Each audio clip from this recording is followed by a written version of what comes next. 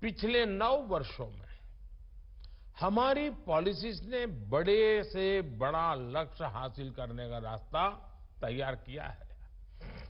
हमारी नीतियाँ, नए mindset constant monitoring mission mode implementation और मास पार्टिसिपेशन पर आधारित है।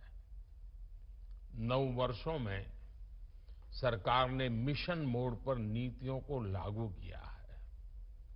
चाहे स्वच्छ भारत हो या जल जीवन मिशन, इन सभी योजनाओं में 100 परसेंट सेचुरेशन के लक्ष्य पर काम किया जा रहा है।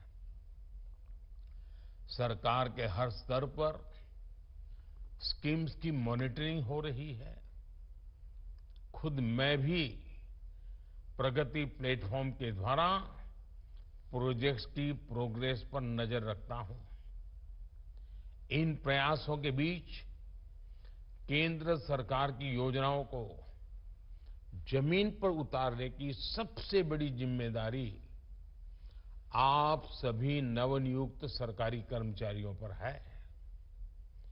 जब आप जैसे लाखों युवा सरकारी सेवाओं से जुड़ते हैं तो नीतियों को लागू करने की स्पीड और स्केल भी बढ़ जाता है। इससे सरकार के बाहर भी रोज़गार के अवसर तैयार होते हैं।